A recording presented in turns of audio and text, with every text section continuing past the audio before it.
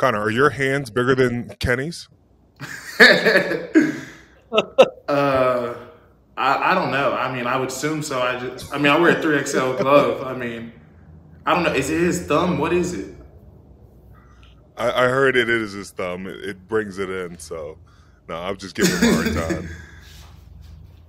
I mean, listen, hey, he he he threw the ball well on Sunday. It didn't look like the hands were a problem. How do you guys evaluate the way he played Sunday? Um, you know, I think there's good and bad. Obviously, the quarterback's going to take responsibility for the three picks, but I think he did a good job of throwing down the field. Um, you know, using his feet.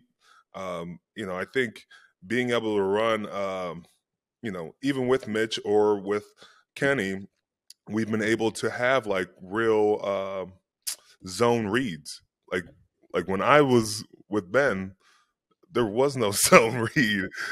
That's not a shot at Ben. Ben was just more of a pocket present presence, and you know, they they alluded to Ben as mo- most people alluded to Ben as rumbling and tumbling down the field, but uh, these guys are very athletic, and you know they can make a guy miss in the hole.